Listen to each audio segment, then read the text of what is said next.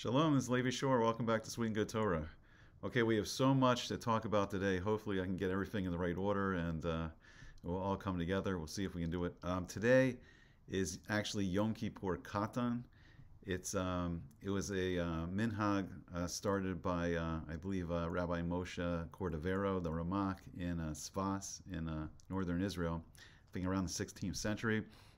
It was included by the Arizal, Rabbi uh, Yitzhak Luria, in his uh, Seder at Tefillah, and and um, and the Moetzes Gedolei uh, of Torah, like in, in Israel and uh, in America, they declare, declared today um, Yom Kippur Katan is a special day of tefillah that uh, you know they're calling on the Jewish people to come together and pray. And I heard, I, I think it was Rabbi Schechter said, if more people can fast for Yom Kippur Katan, it'll have great effect. So there's so much going on. I mean, we um, we're praying every day for the release of the hostages in Gaza, and uh, the, the, the, the evil of Hamas can be destroyed. And all these events are happening in uh, 2023. And we'll, we'll, talk about the special significance of why it's happening in that year. There's um, a big uh, march, uh, you know, Jewish people all around the country coming to Washington, D.C. on um, Tuesday, and we'll, we'll, talk about that. And uh, we'll talk about how Iran's behind all this, the significance of that, um, the, the, historical relationship, you know, of um, Iran to the Persian Empire and, and and then the story of, of Purim, and then um, a war talked about in the Zohar and in uh, the Gemara, the Talmud, and Masechta um, Avodah Zarah on Beis Amud Beis. It's uh, B, I think it's um, 2b, if you're looking it up in the English. And then there's the, uh, it's also mentioned in Yuma, Masechta Yuma, which is about Yom Kippur itself. And that's on, uh, I think it's uh, 10a. It's on uh, it's Yud um, and Aleph, I think. Okay, so we'll talk about this all. Hopefully, this will all come together. So to begin with, before we talk about the march, what's the significance of it being the year 2023 when all this happened? And then the extremely important significance of, of, of this massacre happening on the strangest of all days, on Shabbos, on Shabbos HaKodesh, the Holy Shabbat, and it happening on Shemini Atzeres, and Simchas Torah in Israel, in Eretz Yisrael. So uh, it just, it, it's, we'll talk about how it's, it's the exact opposite of the Kedusha, the holiness of the day. So just to begin, why is this all happening now in 2023? So it's interesting. So Abraham Avinu, Abraham, he was actually born in the year 1948 of the Hebrew calendar. So he was born uh, 1,948 years after the Maisa Breshis, after Hashem creates everything, after the creation of Adam Harishon, of, of Adam and Chava, Adam and Eve. And when he was 75, so there is there is a machlokus, did this actually happen when he was 70 or 75? But there's a lot of opinions that it happened when he was 75, and that was the year that Abraham actually made the covenant with Hashem. The covenant's called the bris bein abasarim, the covenant between the parts. And it's when Abraham actually asked of Hashem, he says, Bama Eda ki irashena. And he was asking Hashem, he says, How will I know that I will inherit it? Meaning, how will I know that I will inherit the land of Israel? And then, meaning his children, his descendants, all of us, the Jewish people. How did he know that at some point in history, Hashem was going to give the Jewish people the land of Israel. So it's fascinating because this happened in 2023 of the Hebrew calendar. And we see the exact parallel happening to us now. And there's this concept of Maisa Avos Simon Labanim, the, the actions, the Avos, the actions of Abraham, Yitzhak, and Yaakov, the actions of Abraham, Isaac, and Jacob have ramifications for the children being us, being their descendants. So whatever they did in their lifetime is echoed all throughout Jewish history. And we see this exact echo happening now. What is this whole war being fought over right now? It's being fought over who who is Hashem actually going to give the land of Israel to. And we saw this horrible uh, attack by Hamas, and they and they feel somehow just this misguided notion, like through through murder and, and just physical violations and, and just immorality and avodah zarah that somehow they're going to conquer the land through their violence, and that's not how the land's going to be inherited. But Hashem specifically told Abraham and made the covenant with him that your children, your descendants, through Yitzhak and through Yaakov, are going to inherit the land. And this was the year where the covenant was made. And that's why I believe all these events are unfolding. Now, today's very important. Yom Kippur, Katan. This is, we'll talk about how there's going to be a great role for fasting and tefillah and how we were saved from the Persian Empire, the ancient Persian Empire during the days of Mordecai and Esther, and how all these, you know, things are very important. All right, so we'll, we'll jump right now to the march um, in uh, Washington D.C. on Tuesday. Um, politically, I, I am not so I'm not so sure politically it's going to have a big effect. Um, you know, I, I, think like the politicians that are, are you know pro-Israel, pro the Jewish people, they're still going to be pro-Israel, pro the Jewish people. I think the the politicians that are against, you know, I, I don't know if it's going to sway their hearts, but but I think there's a tremendous opportunity here for for a spiritual healing, and I'll explain, you know, what I mean. Um, when the Second Temple was destroyed by the Roman Empire, and who's the Roman Empire? As we're heading into this Shabbos of Parsha Toldos, uh, the Roman Empire was started by the children of Esav, the, the, the twin brother of Yaakov, of Jacob. I think Esav is Esau. I don't know, as translated in English. But so we see all the events swirling around here are this uh, this family struggle from 4,000 years ago. So we have Yitzhak and Yishmael. We have Isaac you know, who's going to give birth to the Jewish people through Jacob. And then we have Yishmael, who gives birth to the 12 princes of the Arabian Empire, the, the, the Arab powers. And, and then we see Esav's children, they start the Roman Empire.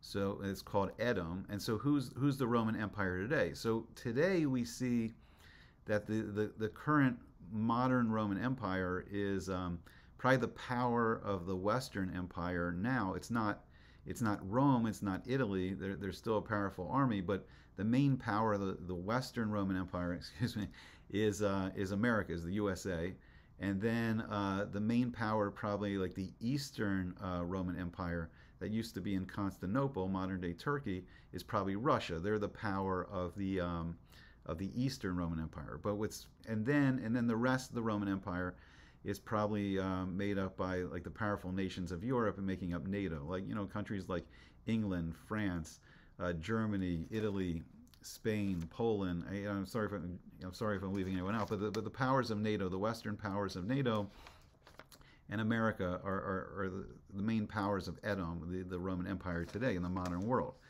So, what's fascinating is when the ancient Romans came and destroyed the Second Temple the Jewish people were broke up into these different groups.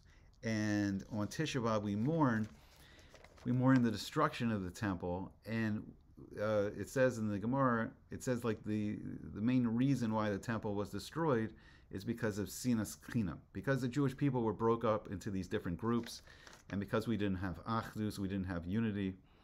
Um, you know, we, we the temple was destroyed. So what's fascinating is there's there's the modern equivalents of all these ancient groups. So you had like the Perushim, which were translated, I think, as like Pharisees, and that was, you know, what's now in the modern world what would be called, you know, the yeshiva world or you know, Orthodox, ultra Orthodox, however you want to term it. And it's basically like following, you know, the Torah the way it was given to Moshe Rabbeinu, from from Hashem to Moshe. And then you had a group called the Zealots, and this would probably the modern equivalent would probably be the Zionists, you know, fighting the enemies of Israel. And then you had other groups like you had the Sadducees, um, uh, translated as Sadducees, and uh, like the Baitusin, and and these groups would probably be represented in the modern world by the Reform movement and the conservatives, conservative movement, whatever whatever it's called exactly. Um, so it's interesting. So still broken up into those groups, but we have a great opportunity now Hashem's given us through this tragedy to start healing the division and start spiritually healing ourselves and bringing back, you know, getting breaking down the sinas and coming back together because we're all united in tefillah in our prayers and in our actions that we want to see we want to see a rescue of the hostage, the Jewish hostages and, and the non-Jewish hostages being held in, in Gaza. We want to see freedom for all the hostages, you know, as quick as possible. And um, and, and, we want to see a destruction, you know, uh, uh, of this terrorist group, you know, that, that that's, that's, that's killed killed so many innocent Jewish people. So the, the Jewish world's united. So even though this march um, in Israel, it may not it may not have a great effect politically, but it could have a tremendous effect in Ruchnius. Just this many Jewish people coming from all over America, coming together for, for a united cause, um, could have a tremendous effect to start breaking down that sinas chinam and then showing the world that this is Hashem's people. Showing the world there's a difference. This is not going to be a march where it's it's violence and calling for murder and death. This is calling for peace and a release of the hostages and unity and bringing God into the world, bringing Hashem into the world, and showing the Jewish people what we do in a time of crisis. You know, we, we, we pray, we have tefillah to Hashem. We say Tehillim, we say the holy words of David HaMelech, of King David. And we're trying to bring holiness and goodness into the world. And, and the world can see the difference, and then we can start to see each other again. We can start to unite and come together. So these huge marches, these political marches, even though on a chitzonius, an outward level, they might not accomplish a lot politically, but they can accomplish a tremendous amount in ruchnius and spirituality by starting to bring the Jewish people together and uniting us to a common cause again. So then the Gemara talks about this war between Edom and Paras. And there's a machlokas of who's going to win, right? So it's interesting. So in the Zohar, it mentions uh, that there's going to be three wars between Edom and Paras, between like the Western powers and and and Paras, which is Persia, which is modern day Iran. Now it's interesting because if Russia is the the power of the Eastern Roman Empire, we see right now that they're attached to to Iran and and and, and China and like and and that's like that's you know one side of this current conflict. So they're not united, you know, with uh, you know so the eastern side of Edom and you know they're not united right now. They're split. And it says it says in the Zohar these three wars there'll be one at sea, there'll be one on land, and one in Jerusalem. So it'll be a it'll be major wars. It's saying between like the Western powers and the powers of the Arab world. Now, right now, there's a tension between who's the leader of Yishmael, who's the leader of the Arab world. So we saw during one, World War One, it was interesting. World War One, it was the Ottoman Empire, and the Muslim world in Turkey. The, the, the you know the, the, that um, Constantinople was was conquered by the, um, the Islamic Jihad coming up to you know to the, the gates of, of Europe. So during World War One, the power of Yishmael was in Turkey in the Ottoman Empire, and that was defeated and then you know that power was turned over to the British Empire. So we see that that power was turned over to Edom, and then the British Empire we see through like the Balfour Declaration and then the Declaration of the UN gave you know permission to the Jewish people to come back to the land, you know, to to inherit the land. Now it's a political. It's not. It's not yet a Shem solution with Mashiach and a Ruchnia solution, but it was a political solution, and we see that that's caused a lot of conflict. So it says in the Gemara so it says that there's going to be this war between Edom and Paras. Now, in Masechta Avodah Zarah, it says that Edom's going to defeat Paras. So that would be like the U.S. and the Western powers will defeat Iran. And then Edom will rule the world for nine months, and that will be what's called the birth pangs of Mashiach. Just, just as it takes nine months, you know, for a woman to give birth to a child, it will take the world these nine months to give birth to to the full, uh, maybe the full revelation of Mashiach and, and the Geul, the redemption of the Jewish people. There's other opinion in the Gemara that Paras will defeat will defeat um, Edom. So like Iran would defeat, you know, America and the Western powers. That's a scary concept, right? So so why is that? So the Gemara says that it's the builders versus the, the destroyers. So Iran or Persia they were the builders in a sense that there was two kings of the Persian Empire, Koresh, Cyrus, as is translated, and then later Dariush, who was the son of Queen Esther and Achashverosh. So they allowed the rebuilding of the second temple. And then who destroyed the second temple? It was the Romans. It was Edom. It was the children of Esav that destroyed the second temple. So it says, how is it possible? How is it possible that the destroyers could possibly defeat the builders? And the answer given at the end of uh, the sugya in, in, in Masechta Yuma is very fascinating. It says, it says it's a gezer from Hashem, and we don't understand the mysteries of like how Hashem's running the world, but he wants this for a certain reason. So we're on the brink of this right now. I mean, we this could be possibly the first war that the Zohar is mentioning, and it could be the war on sea. Now, why would it be the war on sea? Because we see that uh, the Biden administration has sent these two like um, battle strike groups, these two massive like uh, battleships with their surrounding, you know, ships and their strike groups, and I think one's in the Mediterranean, and then possibly I think one went into the Red Sea or uh, near the Strait of Hormuz. I'm, I'm not exactly sure where they are, but they're there. And then we start to see that what's happening now politically is that Iran, through all their proxies, is firing on the American strike groups. And while so far it hasn't been a major response from America, they, they've struck back three times to the Iranian, you know, you know, I don't know, warehouses or whatever they have in Syria. They've done it three times. But we see that the world's on the brink of this tension. So the other thing is, when did this all start? This all started on Shabbos in Israel, on Shabbat.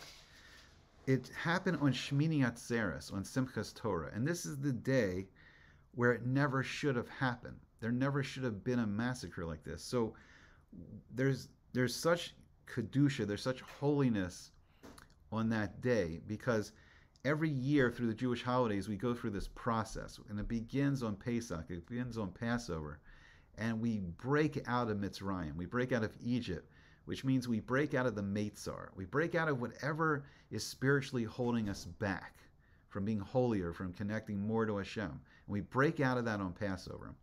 Then we count the 49 days of the Sfiras Omer, and we elevate ourselves to the holiday of Shavuos, of Matan Torah, where we stood at Mount Sinai and we received the Torah from Hashem. And then it keeps building. And then we build into the month of Tishrei, and we have Rosh Hashanah, and we stand before Hashem and we declare him our Melech, and we blow the shofar, we declare him our, our king, and we and we wait judgment, you know, from our Father, from our Avinu Shebashamayim our, our Father in heaven, Avinu Malkeinu, our Father, our King. And then we have the 10 days of Teshuvah leading to Yom Kippur, where it's the day of Kapara, the day of atonement. We get forgiveness from our Averas, and then we go you know, purified, you know, from from you know whatever holding us back, and then we live with Hashem in the sukkah. We live with Hashem. We live with the Shekinah Hashem. Bezrat Hashem. One day, the Shekinah will return to the third Beis HaMikdash, and Hashem will live in the midst of all the Jewish people again. And we have this very close, you know, relationship, you know, with Hashem for those seven days, and then we go higher on Shmini Atzeres, when this day the massacre occurred, the October 10th. The day it occurred, it was Shabbos it was Shmini Atzeres, meaning all that holiness, all that Kedusha from everything we've done throughout the whole year, it collects onto this eighth day, which is above the natural world, into the supernatural. And then it's Simchas Torah. And then we dance with the Torah because we've read Hashem's Torah all year, and we all dance in happiness. We dance in happiness, you know, and just the love of, you know, the Torah and, and our love, our, our connection with Hashem. And as a day it never should have happened. But it's a simon for us. It's a sign that it's time. It's time for us to come back together. It's time for us to, to relearn the beautiful words of Hashem's Torah, to be united again like we were when we received the Torah at Har Sinai. We were called, it was Lev Echad, Ish. We were like one man, one heart. You know, we were one people. And this is our chance to start step by step.